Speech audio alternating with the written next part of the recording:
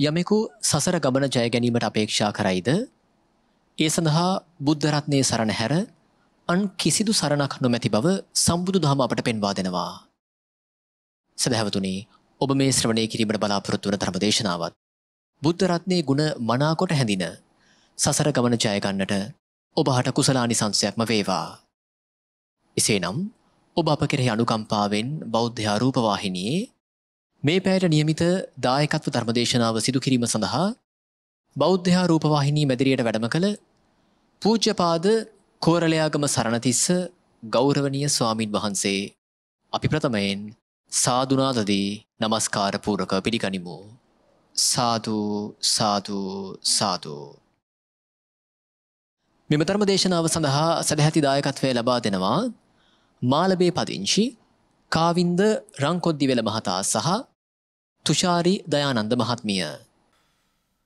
නමෝතස්ස භගවතු අරහතු සබ්බ දම්මේසු අපපටිහතඥානචාරස්ස දස බලධරස්ස චතුවේ සාරජ්‍ය විසාරදස්ස සබ්බ සත්තුතුතමස්ස ධම්මිස්සරස්ස ධම්මරාජස්ස ධම්මස්සාමිස්ස තථාගතස්ස සබ්බඥුනෝ සම්මා සම්බුද්දස්ස නමෝතස්ස භගවතු අරහතු සබ්බ ධම්මේසු අපපටිහතඥානචාරස්ස දස බලධරස්ස චතුවේ සාරජ්‍ය විසාරදස්ස සබ්බ සත්තුතුතමස්ස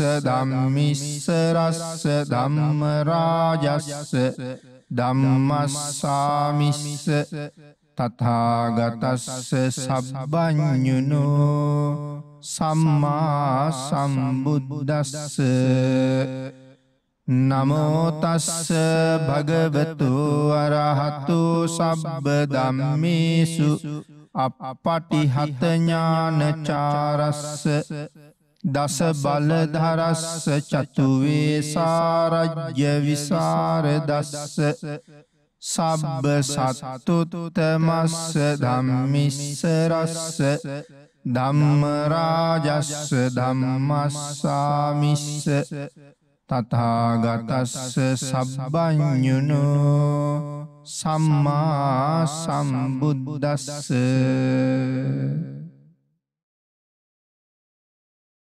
සද්ධර්ම ශ්‍රාවක කාරුණික ගුණගරුක බෞද්ධ පින්නතුනි බොහෝම ශ්‍රද්ධාවෙන් යුක්තව මේ සියලු දෙනාම සූදානන් වෙන්නේ ලෝතුරා සාන්තිනායක සම්මා සම්බුදුරජාණන් වහන්සේ විසින් ලෝක සත්වයන් පිළිබඳව අප්‍රමාණ දයාවෙන් කරුණාවෙන් මෛත්‍රියෙන් යුක්තව අවබෝධ කරගෙන දේශනා කොට වදාළ පරම ගම්බීර වූ ශ්‍රී සද්ධර්මරත්නයෙන් අබමල් රේනුවකටත් වඩා අඩු බොහෝම පුංචි කොටසක් දේශනා කරවගෙන ධර්ම ගෞරවය පෙරදැරි කරගෙන දේශනාගත ධර්මය ශ්‍රවණය කරන්න. බොහොම සැදැහැයෙන් ධර්මශ්‍රවණය කරන ශ්‍රාවකය විසින් මහත් වූ බලාපොරොත්තුවක් පෙරදැරි කරගෙනම ධර්මශ්‍රවණය කළ යුතු බව බුදුරජාණන් වහන්සේගේ දේශනාවයි. ඒ බලාපොරොත්තුව තමයි මේ ධර්ම දේශනාව ශ්‍රවණය කරන අතරතුරදීම මාගේ පංචනීවරණ ධර්මයන් යටපත්වේවා. සප්ත බෝධ්‍යාංග ආදී ධර්මයන් වැඩි දියුණු වේවා මේ දේශනාව අතරතුරදීම මට උතුම් මාර්ගයක් ඵලයක් අවබෝධ වේවා කියන සිත ඇතුවම ධර්මශ්‍රවණය කරන්න කියලා දේශනා කළා. අපිත් ඒ ප්‍රාර්ථනාවෙන්ව එය මුදුන්පත් කර ගැනීම උදෙසාම ධර්මශ්‍රවණය කරමු. පින්නතුනි මේ දිනවල මේ දේශනා මාලාව තුළ අපි සාකච්ඡා කරමින් හිටියේ අංගුත්තර නිකායේ චතුක්ක නිපාතයට අයිති අපූරු සූත්‍ර දේශනාවක්. ඒ අචින්තෙය සූත්‍රය. ලෝතුරා බුදුරජාණන් වහන්සේගේ අනන්ත බුදුගුණ අපිට කවදාවත් හිතල ඉවර කරන්න බෑ. බුද්ධ විෂය කියන කාරණාවත් එක්ක තමයි මේ බුදුගුණ අනන්ත වෙන්නේ කොහොමද කියන කාරණාව සාකච්ඡා කළේ. ඒ යටතේ ධර්මදේශනා අටක් මේ වෙනකොට සිද්ධ කරන්න යෙදුණ. අද එහි නමවෙනි දේශනාව. අපි පහුගිය ධර්මදේශනාව නිමා කරන්න යෙදුනා අපේ බුදුරජාණන් වහන්සේ අපේ නිවන වෙනුවෙන් කොයි තරං දුක්බින්දද කියන කාරණාව සාකච්ඡා කරලා. පිනතින අද අපි සාකච්ඡා කරමු ඒ නතර කරපු තැන ඉඳල ඉදිරියට ඒ අනුකම්පාව දයාව කරුණාව කොච්චරද කියන කාරණාවට තව කරුණු කීපය. පිනතුන අපි මෙහෙම හිතල බැලුවොත් අපේ බුදුරජාණන් වහන්සේ ලෝක සත්වයා කෙරෙහි අනුකම්පාවෙන් තමන්ගේ අතට ලැබුණ නිවන එක අවස්ථාවක නෙමෙයි අත් හැරී. දැන් අපි බොහොම ප්‍රසිද්ධව කතා කරන්නේ දීපංකර පාදමූලයේදී දීපංකර බුදුරජාණන් වහන්සේගෙන් බණපද දෙකක් අහලා. තෙවැනි පදය ගාථා රත්නයක සම්පූර්ණ කරන්න කලින් අති උතුම් මහරහත් භාවය ලබාගණ්ඩ පුළුවන් තැනක ඉඳල තමයි එය අත්හැරල සසරට බැහැගත්තේ. එකන අතේම තිබිච්ච නිවන අත්හැරල දෙම්ම.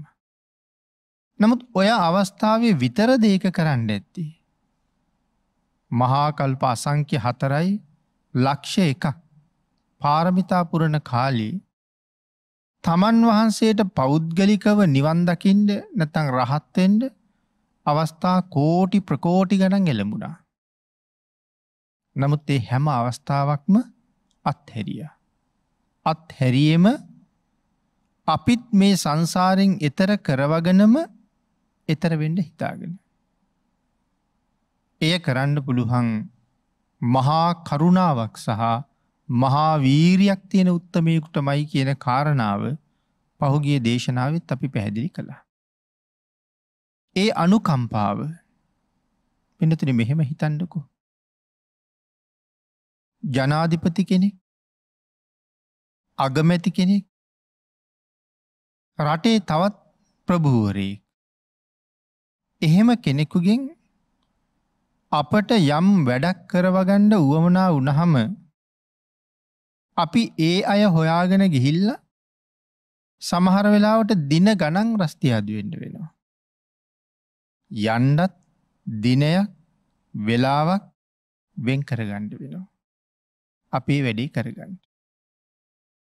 නමුත් බුදුරජාණන් වහන්සේ තමන්ගෙන් විශේෂ උවමනාවක් අවශ්‍ය කෙනෙක් ඉන්නවනං ඒ පුද්ගලයා හොයාගෙන වඩින එක බුදුරජාණන් වහන්සේගේ සිරිත.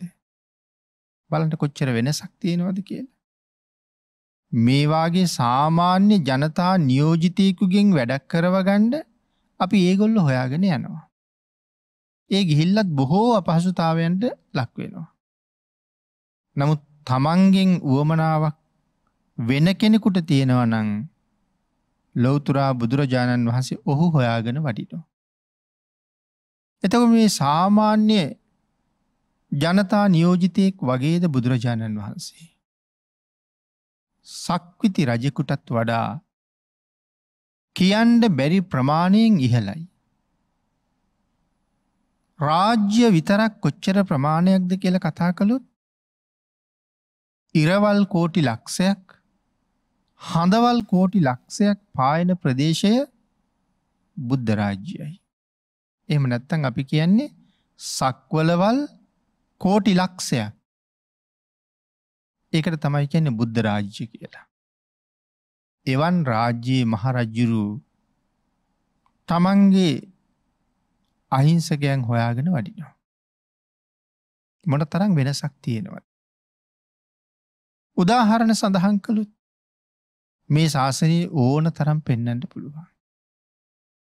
අපි එකක් දෙකක් සාකච්ඡා කළොත් කාරණාව තහවුරු කරගන්න. අංගුලි මාල. අංගුලි මාල ගැන අපේ පින්නතුන් හොඳට අහල තියෙනවා. සංසාරය බොහෝ පින් කරලා තියෙන කෙනෙ. භාගිතුන් වහසේ මුණ ගැහුණොත් මේ ජීවිතයෙන්ම මේ සංසාරෙන් මිදෙනවා.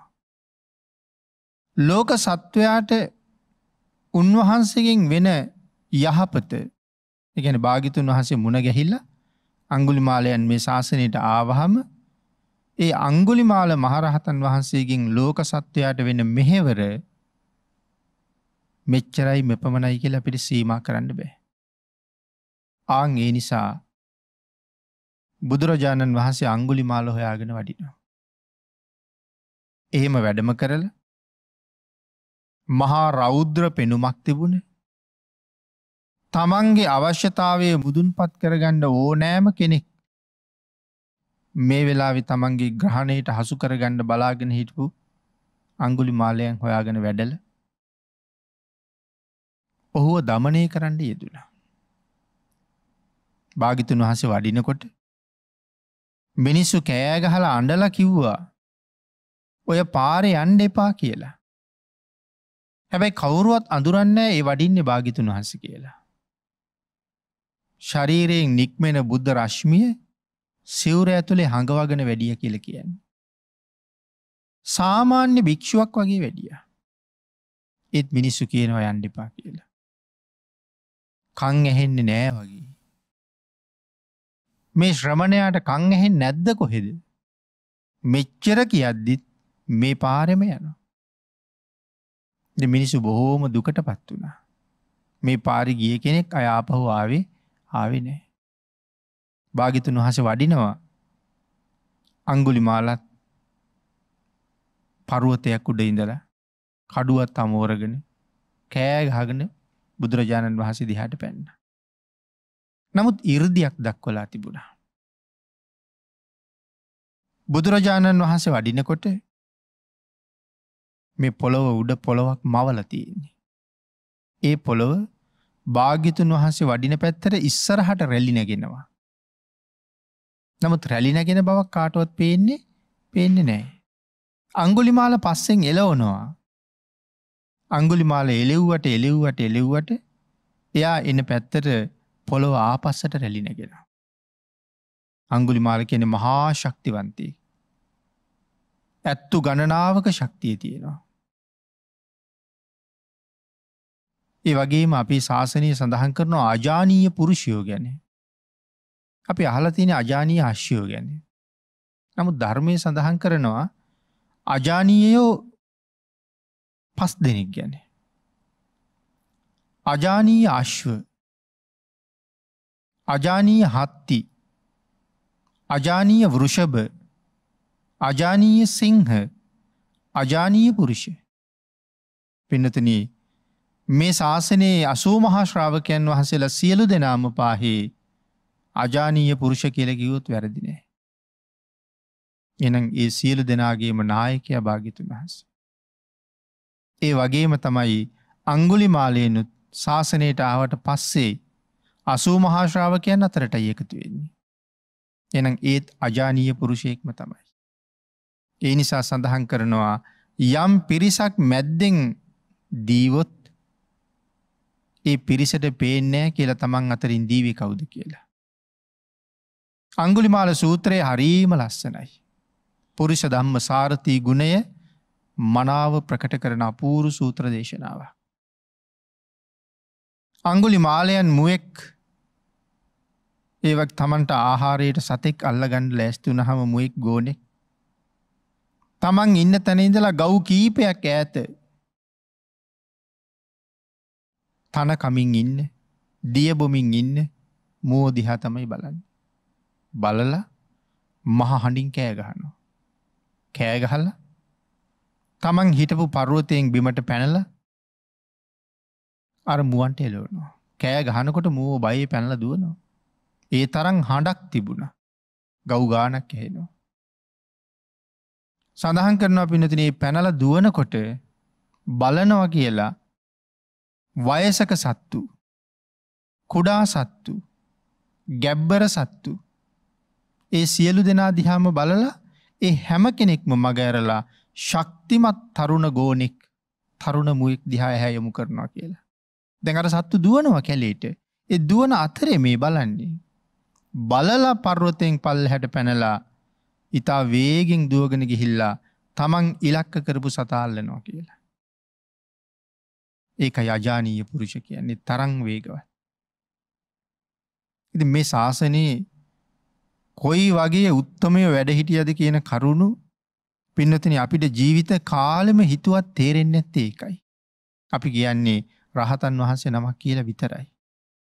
නමුත් සංසාරයේ පාරමිතා පුරල දන් දීලා උන්වහසල ලබාගත ශක්තිීන් පිළිබඳව අපිට වැටහෙන්නෙමනෑ. නමුත් අවබෝධ කරන්න උත්සාහ කළොත් හොයාගණ්ඩ කටයුතු කළොත් මංහිතන අපේ ශ්‍රද්ධාව මීට වඩා හුඟක් ඉහල යනවා කියලා. ඉතින් එවන් වේගෙකින් දුවන කෙනෙක් තමයි මේ වාගිතුන් හසික පස්සෙන් එලවන්නේ. නමුත් ලංවෙන්ඩ බෑ. බැරිම තැන කියනවා තිට්ට ශ්‍රමණ නවතින්ඩ ශ්‍රමණය කියලා. දැන් තමන්ගේ මාන බිඳිල ඉවරයි. තමන් මහා ශක්තිවන්තය කියලන හිතාගෙන හිටිය. නමුත් මේ තරන් මේ දුවන මෝ සිංහයෝ කොටියෝ අල්ලගත්ත මට මේ ශ්‍රමණය අල්ලන්ට බෑ කියල හිතෙනවන්නේ. ඉතින් බොහොම වෙහෙසිලා තමයි කියන නවතින්ට කියලා. භාගිතුන් වහස් සඳහන් කළා මම නැවතිලා ඔබ නවතින්. අංගුලිමාලට බුදුමයි. කල්පනා කරන මේ ශ්‍රමණයෝ කියන ජාතිය ජීවිතය නැති කළත් බොරු කියන ජාතියක් නෙමෙයි. ඒක හොඳට දැනගෙන හිටිය. ජීවිතය නැති කළත් බොරු කියන්නේ දිවි හිමියෙන් කියල පොරොන්දු වෙලාඉන්නේ. එතකොට මේ මහා ශ්‍රමණයා බොරුද කියන්නේ. පුදුම යංගුලිමාල්ට ඇයි බොරු කියන්න නැති ශ්‍රමණයෙක් මම නැවතිලා ඔබ නවතින්ට කියනවා. ඉතින් පුදුමයට කාරණාවක්නේ මෙ මොකක්ද කියන්නේ කියලා. ඒ නිසා භාගිතුන් වහසගෙන් අහන්ඩ ඕන කියලා හිතන නව තාම දන්නේ මේ කවුද කියලා. ඒ නිසා අහනවා. නැවතිලා ඉන්න මට නවතින්ට කියනවා. යන ගමන් ඔබ නැවතිලා කියනවා. අං ඒ වෙලා අංගුලි මාලයන්ට බුදුරජාණන් වහන්සේ කාරණාවක් කියනවා.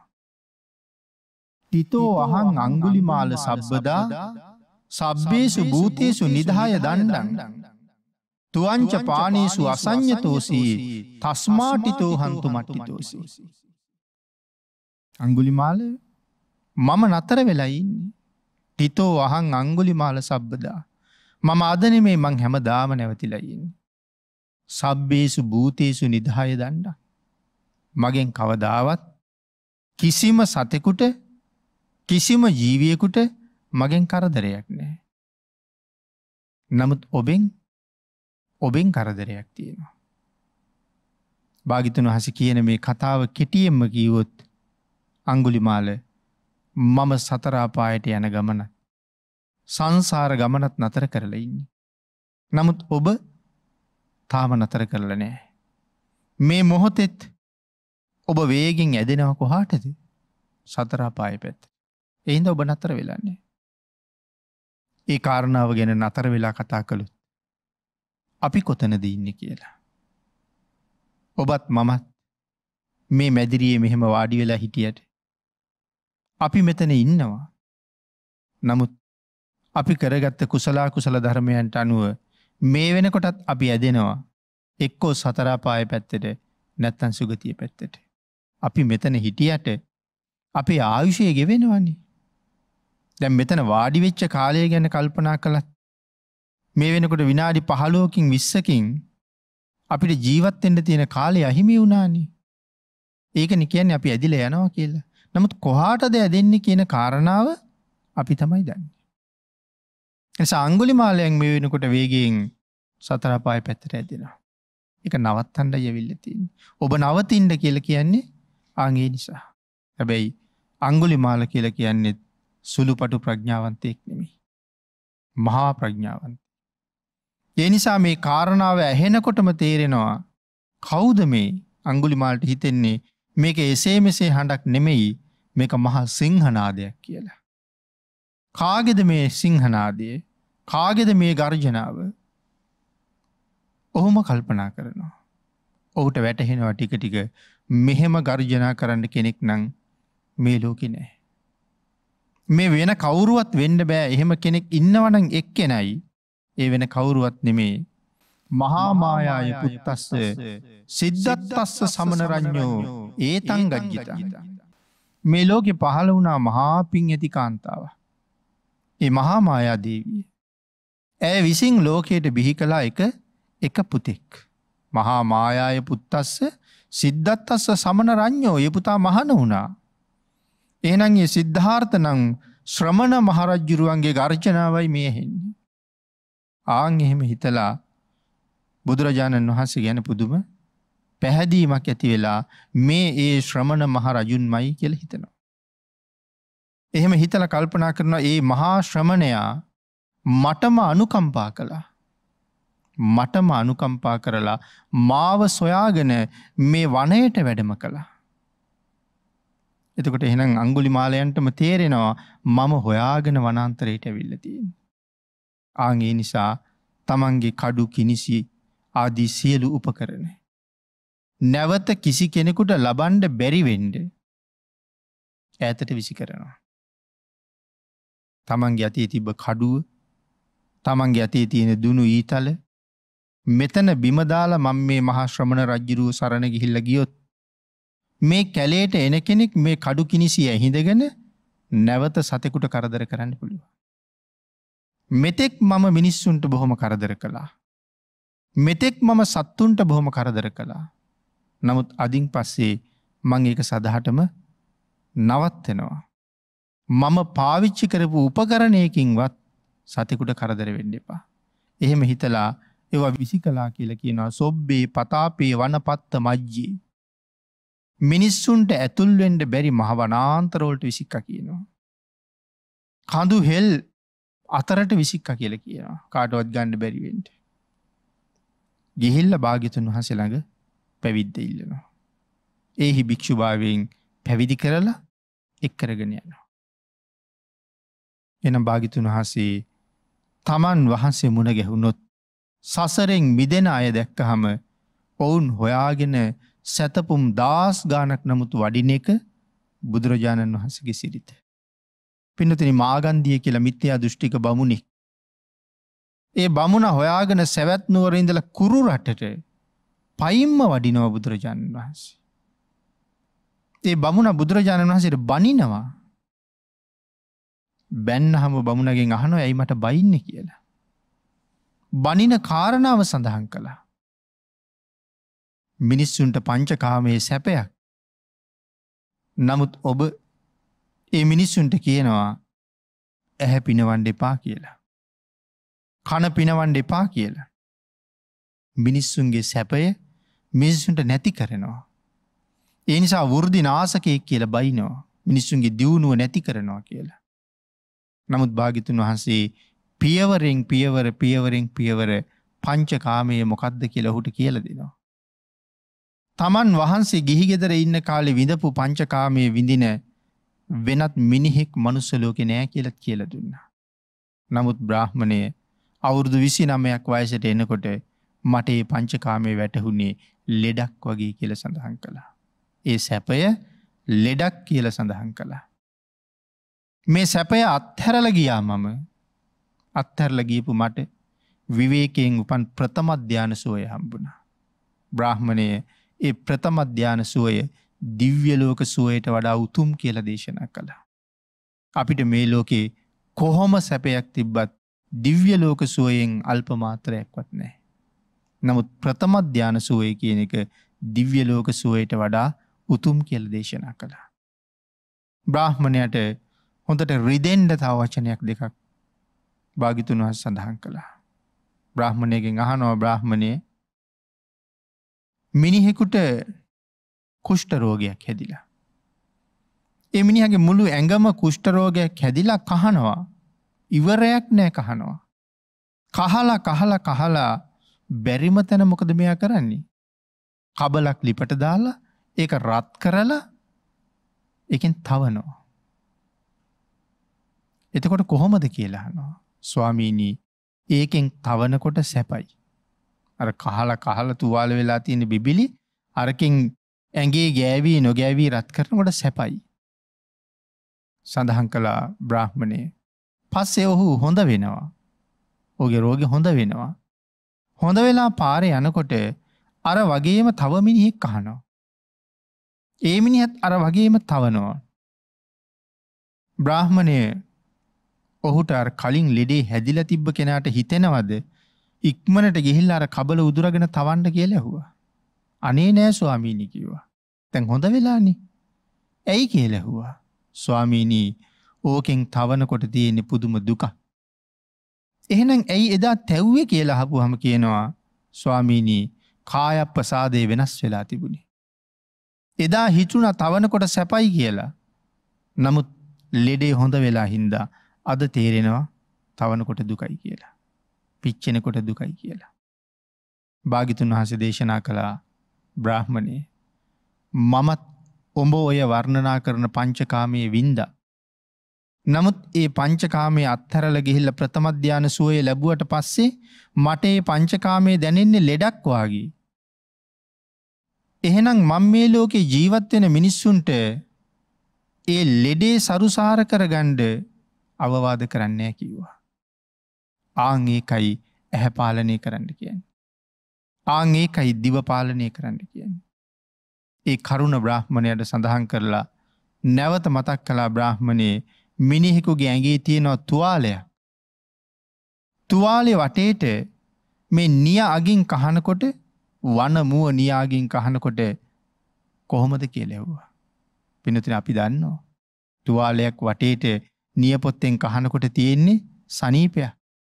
භාගිතුන් වහස දේශනා කලා බ්‍රාහ්මණය උඹල ඔය වර්ණනා කරන පංචකාම සැපය මම දකින්නේ තුවාලයක් වටේට නියාගින් කහනකොට දැනෙනවාගේ සැපයක් හොයන්ඩ තමයි රෑ දවල් මිනිස්සු දඟලන්.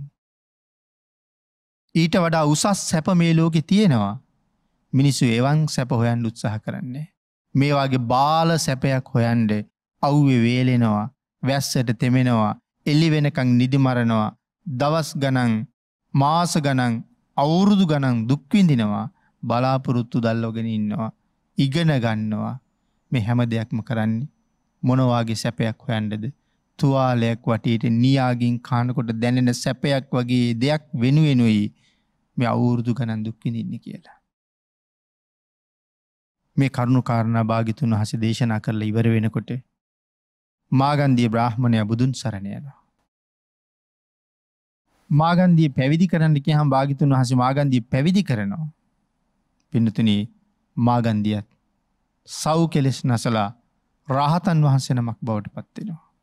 භාගිතුන් වහසේ මුණ ගැහුණොත් මෙන්න මෙහෙම සුවයකට පත්වෙනවා නං යමෙක් ඔහු හොයාගෙන සැතපුම් දස් ගනන් වටිනවා. සම්මා සම්බුද්ධ ශාසනයේ මොන තරංනං ලස්සනද. මොන තරංනං නිර්මලද භාගිතුන් වහසගේ දේශනාව කොයි තරං අපූරු පිඩතුන හිතල බලන්ඩකු. මේ නිර්මල අපූරු ශාසනය තුළ අපි පිහිටියොත් අපිට මොනවාගේ සුවයක් තියයිද කියලා. සතර අපායෙන් මිදිලා සදා කාලික සුවයෙන් සැනසෙන්ඩ පුළුවන්. නමුත් එවන් ශාසනය ඇසුරු කරන්න එවන් ශාසනය තුළ කටයුතු කරන්න අපිට තාම ශ්‍රද්ධාව ශ්‍රද්ධාව මති. කැප කිරීමක් කරන්නේ. වීරය කරන්නේ ලෞකිකත්වය වෙනුවෙන් ඕන තරං දුක්විදිනවා. අපි කතා කළොත් යුද්ධ හමුදාවක් ගැන. යුද්ධ හමුදාවක තියෙන පුහුණු කාලය එක එක අංසවල විවිධයි. නමුත් මොන්න තරන් දුක්විඳින්ට ඕනැද. ජීවිතය කවදාවත් කණ්ඩ හිතාපු නැති දේවල් ඒ කාලෙ කණ්ඩ සිද්ධ වෙනවා. සුමාන ගනන් සපත්තු දෙක ගලවන්ටනේ. දවස් ගනම් බඩිගින්න ඉන්ඩුවනේ. සාගරය ගෙනහිල් අතරමං කරලා දානවා. එයා ඒක සම්පූර්ණ කරන්න නම් හොයාගෙන පීනගෙන එන්ටෝනේ. වනාන්තරයගෙන හිල් අතරමං කරලා දානවා. ගුවනට ගෙනහිල් අත හරිනවා. නමුත් අපි සල්ලි හොයාගණ්ඩ හින්ද. හොඳ රැකියාවක් කර ගණ්ඩෝන නිසා. සල්ලි ටිකක් හම්බ කරගත්තොත් මේ පංචකාමය හොඳට විඳින්ඩ පුළුවන් හින්ද. එච්චර දුක් විඳිනවා. ඒ සියලුම දුක් විඳින්නේ සමහර වෙලාවට මාසකට රුපියල් තිස් පන්දාහක් කතලිස් දහක් ගන්න. එච්චර දුක් විඳින්නේ. නමුත් මේ ශාසනයේ අධ්‍යයනය කරගන්ට. භාගිතුන් වහසගේ දේශනාව ගවේශණය කරගණ්ඩ අවුරුදු දහයක් කැපකිරුවොත්. මේ ලෝකෙ දෙවියන්ගෙන් බඹුන්ගෙන් වඳින මිනිහෙක් බවට පත්තෙන්ට බැරි. උපාදියක් කරගණ්ඩ දරුවෙක් කොච්චර දුක්විතිනවත්. මේ කියන්නේ ඒ දේවල් එපා කියල නෙමෙයි. භාගිතුන් වහන්සේත් යුතුකං මව්පියෝ කළ යුතු යුතුකං අතර තුන්ගෙන යුතුකමට දේශනා කළේ දරුවන්ට උගන්නන්න කියලා. එපා කියල නෑ. නමුත් ඒක කරන ගමන් අපි ඒ අයට කල්්‍යයාන මිත්‍ර වුණොත් හොඳ නරක කියල දීලා. පින පව කියල දීලා. මේ ලෝකෙ කොච්චර ලස්සන වෙයි. අපි භාගිතුන් වහන්සේ පොක්කු සාති මහරජ්ජුරු හොයාගෙන ගිපු හැටි. බුදුරජාණන් වහන්සේ ගැන බිම්බිසාර රජ්ජුරුවන්ගෙන් අහගත්තේ පොක්කු සාති රජ්ජුරුව. ආනාපාන සති කර්මස්ථානයත් බිම්බිසා රජ්ජුරු කියල දීල තිබ්බ කර්මස්ථානයේ වඩලා චතුෘත අධ්‍යානයට එනකං ඇවිල්ලයින්. රාජ්‍යයට යන්නේ දැන්. රාජ්‍ය සැපේට වඩා මේ ධ්‍යාන සැපය උතුම්. ප්‍රථම ධ්‍යාන සුවේ දිවිය ලෝක සුවයට වඩා උතුම් කීවනං පුක්කු සාති රජ්ජුරුව මේ වෙනකොට චතුෘත අධ්‍යානයට සමවදිනවා. මොන තරං සුවයක් විඳින වැද. නමුත් කවුරු නිසාද මේ සුවේ භාගිතුන් වහස නිසා. ඇමතිවරු ඇහුව මහරජයෙන් නැද්ද රාජ සභාවට නැමම එන්න අයි. මම මාලිගාවෙන් යන්ඩ තීරණය කළා. ශ්‍රමණ බවත් ගෞතමයන් වහස හොයාගෙන. මිනිස්සු ඇහුවා මහරජය අපි එන්ඩ දැරලන්ඩ යන්න කියලා. එවෙල සඳහන් කලා තාම භාගිතුන් වහස ගැන දැකලනෑ රජ්ජුරුවන්ගෙන් අහගත්.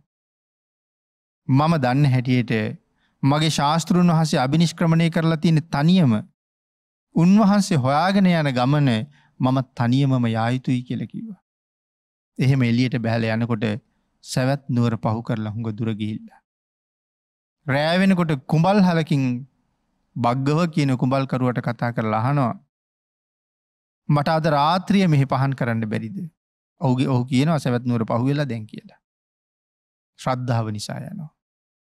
අනික මේ ධ්‍යාන ලාබීන්ගේ ගමන හරි වේගවත්.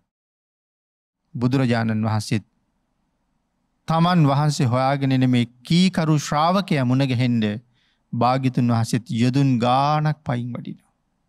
පයින් වැඩලා අර කුඹල් හලටම ගිහිල්ලා බග්ගවගෙන් අහනවා මටත් රෑට මෙහෙ නවතින්ට බෑද. ඒ ලැවි කුඹල්කරු සඳහන් කළා මට කමක් නෑ කලින් ආපු ශ්‍රමණයෙක් මෙහි ඉන්නවා. ඔහු කැමතිනං නවතින්ට කියලා කුබල්කරු අඳුරන්නෙත් නෑ මේ කවුද කියලා භාගිතුන් වහසේම අඳුරන්ට බෑපින්නතුනි. එකට හේතු ගණනාවක් ධර්මී තියෙනවා. අපි කවදාවත් බුදුරජාණන් වහන්සේ දැකල නැති හින්දා අපි ජේතවන රාමිට ගියුත්. රහතන් වහන්සේල දැක්කහම අපි රැවටෙනවා මේද බුදුරජාණන් වහන්ස කියලා. ඇයි පින්නතුනි නන්ද මහරහතන් වහන්සේටත් මහාපුරුෂ ලක්ෂණ තිස් දෙකම තියෙනවා. රාහුල මහරහතන් වහන්සේටත් මහාපුරුෂ ලක්ෂණ තිස් දෙකම තියෙනවා. තවත් මහාපුරුෂ ලක්ෂණ කීපයක් කීපයක් තිබුණ අසූ මහශ්‍රාවකයන් වහන්සේලා හිටිය. කච්චායන මහරහතන් වහස ගැන සඳහන් කරනකොට කියන්නේ රත්තරං පාටිං දිලිසුනා කියලා. ඉතින් රන්වන් පාටින් බැබලිච්ච තව රහතන් වහසල කොච්චර ඉන්න ඇද්ද. ඒවාගේ උත්තමය අපි දැකල නැති නිසා එක්කෙනෙක් දැක්ක හමිතනවා මේද බුදුරජාණන් වහස කියලා. නෑ මම නෙමෙයි කියල කිවොත් සමහරලාට ඊළඟට දකින කෙනා දැක්ක හමිතෙන්නේ මේද බුදුරජාණන් වහස කියලා. අඳුරන්ඩ බෑ. පහසුවෙන් අඳුරන්ඩ බෑ. බැරි නැත්ති නෑ නොදන්න කෙනෙකුට පහසු නෑ. ඒකයි භග්ගව අඳුරගන්න නැත්ති. පොක්කු සාති තවුසා අර කුඹල් හලේ ඉන්නවා මේ හොයාගෙන යන්නේ භාගිතුන් වහන්සේව. භාගිතුන් වහස එතෙන්ට වැඩල හනවා මටත් රෑය පහන් කරන්න පුළුවන් දෝබත් එක්ක මේ කුඹල් හලීම. පුළුවන් කියනවා. නමුත් අඳුරගත්තද මම හොයාගනේන ඒ මහාරිශීරයන් වහස මේ වැඩ ඉන්න කියලා. බුදුරජාණන් වහස කෙ අඳුරන්නේ. පොක්කු සාති තවුසා චතුරත අධ්‍යානයට සමවදින. ඇගිල්ලක්වත් හොළොවන්නේ. භාගිතුන් හසි චතුරත අධ්‍යානයට සමවදිනවා. මධ්‍යම රාත්‍රී වෙනකම්ම එහෙම්මම ඉන්නවා. භාගිතුන් හස කල්පනා කළා මොහුට දහමක් දේශනා කළ යුතුයි. පොක්කුසාති භික්‍ෂුව නොදන්න භාග්‍යතුන් වහස දන්න තව කාරණාවක් තියෙනවා. මේ භික්‍ෂුව හෙට උදේට මරණයට පත්වෙනවා. එක පුක්කු සති භික්ෂුව දන්නේ. එහින්ද අද මොහුට පිහිට වෙන්ඩුවනේ. කතා කළා කතා කරලා කීවා. ඇහුවා කොහෙද යන්නේ. මම සැවැත් නුවර යනවා. කවුරුමුණ ගැහෙන්ඩෙද. ශ්‍රමණ බවත් ගෞතමයන් වහන්සිමන ගැහෙන්. ශ්‍රමණ බවත් ගෞතමයන් වහන්සේ දැකල තියෙනවද. නෑකීවා. දැක්කොත් අඳුරනවද කියල හෙව්වා. ඒත් නෑකීවා. එතනින් එහට ඒ ගැන කතා කළි කතා කළේ නෑ. මම ඔබට ධර්මයක් දේශනා කරන්නද කියලෙහුවා. හා කීවා. අපි භාගිතුන් වහසේ ධාතු විභංගය පිළිබඳව දේශනාවක් කළා. ආංගේ ධර්ම දේශනාව ඉවර වෙනකොට පුක්කුසාති භික්‍ෂුව හඳුන ගත්තා මේ රාත්‍රිය මාත්‍යක ගත කරන්න වෙන කවුරුවත් නෙමෙයි මම හොයාගෙනන මගේ ශාස්තෘන් වහන්සේමයි කියලා. පිනතන මේ කතාව අපිට තවත් අපූරු කාරණාවක් කියනවා භාගිතුන් වහන්සේම අපිට දේශනා කරපු. යෝ දම්මා පස්සේ සෝ මං පස්සේ. මහනින යමෙක් මගේ ධර්මය දකිනවද මහනිනි ඔහු මාව දකිනවා. පුක්කුසාති භික්‍ෂුව බුදුරජාණන් වහසේ අඳුරන්නේ නෑ. නමුත් දේශනාව ඉවර වෙනකොට තීරණය කරනවා මේ වෙන කවුරුවත් නෙමෙයි මේ ඒ ශ්‍රමණ බවත් ගෞතමයන් වහන්සේමයි. හඳුනගත්තේ මොකක් තුළින්ද දේශනාවී තිබුණ ව්‍යක්ත බව නිසා. දේශනාවේ තිබිච්ච ශ්‍රේෂ්ඨ බව නිසා ධර්මය තුළිනු යඳුරගත්තේ මේ බුදුරජාණන් වහන්ස කියලා. එනම් අදත් එදත් භාග්‍යතුන් වහන්සේ හඳුන ගණ්ඩනං ධර්මය හඳුනගන්න එකම එකම වටිනවා. යමෙක් ධර්මය තුළට එන්ඩ එන්ඩ ඔහු බුදුරජාණන් වහන්සේට ලංවෙන කෙනෙක් බවට පත්වෙනවා. එදාට ඔහු භාගිතුන් වහසගේ කීකරු ශ්‍රාවකයෙක් බවට පත්වෙනවා. එහනම් මේවාගේ තව කී දෙනෙක් හොයාගෙන බුදුරජාණන් වහස වැඩි ඇති. ඔවුන්ට පිහිට වෙන්ඩම වැඩලා ඔවුන්ගෙන් මොන්න තරං භාගිතුන් වහස අපවාද හල තියෙනවද. නමුත් කොච්චර අපවාද කළත් දාල යන සිරිතක් භාගිතුන් වහසළඟනෑ. ඔවුන් සසරින් එතර කරලම තමයි වඩින්නේ. ආං ඒවාගේ මහ කරුණාවක් පුද්දුම කරුණාවක් තියෙනවා. මේ කරුණාව ගැන කවදාවත් අපිට හිතල ඉවර කරන්න බෑ. ආගේ නිසා භාගිතුන් වහසගේ ඒ කරුණාව තුළම තියෙන්නේ මහ පුදුම අනන්ත බවක්. අනන්ත කරුණාවක් තියෙනවා කියල කිය හම අපිට අනන්ත බව තේරෙන්නේ. බුදුගුණ අනන්තයි කියල කිය හම ඒ අනන්ත බව කොච්චරද කියන එක අපිට තේරෙන්නේ. ඒ නිසයි මේ සූත්‍රයේ දේශනා කළේ මේ බුද්ධ කියන විෂය හිතන්ඩ යන්න එපා කියලා. ඒකෙන් අපිට බුදුගුණ ගැන හිතන්ඩ එපා කියලා නෙමෙයි කියන්නේ. අපිට හිතල ඉවර කරන්න බෑ. හිතල ඉවර කරනවා කියලා කල්පනා කළොත් අපි වෙහෙසට පත්වෙනවා. සමහර වෙලාට අපි උම්මත්තක වෙනවා. මොකද හිතුවට හිතුවට හිතුවට ඒ සාගරී තෙරක් නෑ. එමන පින්නතුන අපේ බුදුරජාණන් වහන්සේ කෝටි ලක්ෂයක් සක්වලක අධිපතිය වෙලත් තමන් වහන්සේකින් පිහිට ඕනෑ අය මම ළඟට ආව යුතුයි නෙමේ මම ඔවුන් ළඟට වඩිනවා කියන තීරණය හිටිය. ඒ අනුකම්පාව හින්දා. පිනතිනි භාගිතුන් වහන්සේගේ පියවි ගමනෙන් තනි පුද්ගලයෙක් වෙනුවේ. යොදුන් දාහක් තරං වැඩල තියෙනවා. පියවි ගමනින්ම ඉරදි ඉරදි ගමනින් නෙමේ. පියවි මනුෂ්‍ය ගමනින්ම එක තනි පුද්ගලයෙක් වෙනුවෙන්. යොදුන් දාහක් නමුත් බඩිනව කෙල සඳහන් කරනවා. යොදුන් දාහක් කියල කියහම් සැතපුම් හැටියට කල්පනා කෙරුව. හැතපුම් නවදාහක් තරන් කිට්ටු වෙනවා. එක පුද්ගලයෙක් වෙනුවෙන් කවුද එහෙම පයින් වඩින්. ලෙඩ වෙලා ඉන්න අම්ම තාත්තා බලන්ඩවත් පයින් යන්ඩ කැමති නැති අපි. එලෝමීටරයක් දෙකක් දුර තිබ්බත් සමහරලාට බයිසිකලයක් වාහනයක් නෑ කියල නොය ඉන්න. අසනීප වෙලා රෑක කතා කිරුවොත් අම්මට අසනීපයි කියලා මට එන්ඩ විදිහක් නෑ පස්සේ එන්නම් කියල කියනවා. භාගිතුන් වහන්සේ එක පුද්ගලය වෙනුවෙන් යොදුන් දස් ගනන් වඩිනවා. ඒ නිසාම ඒ කරුණාවේ මහබුදුමානන්ත බව. පින්නතුනේ එතකොට තමයි අපිට තේරෙන්නේ බුදුරජාණන් වහන්සේ යම් කෙනෙක් හොයාගෙන වඩින්ඩ තියෙන තියෙන පියවරක් පියවරක් ගානේ බුදුගුණ අනන්තයි කියලා. ඒ හැම පියවරක් ගානව බුදුගුණ අනන්තයි. එතකොට මේ බුදුගුණ අනන්තයි බුදුගුණ අනන්තයි කියලා අපි කියනකොට මේ මේ විදිහට කරුණු එකින් එක එකින් එක අරගෙන ඒ අනන්ත වෙන හැටි මෙනෙහි කරන්න පුළුවන් වුණොත් හිතන්ඩ පටන් ගත්තොත් අපේ චිත්ත සන්තානය තුළ බුදුගුණ වැඩෙන්ඩ පටන් ගන්නවා. ආං එතකොට තමයි බුදුගුණ භාවනාව සාර්ථක වෙන්නේ. බුදුගුණ භාවනාව සතරාරක්ෂක භාවනාතරදී ආරක්ෂක භාවනා හතරේ එක.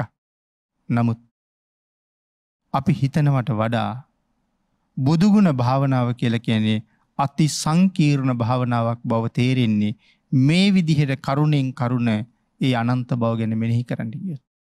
නමුත් යමෙක් තුළේ ගුණේ වැඩෙනවනං භාගිතුන් වහස අපිට බොහෝම ළඟයි.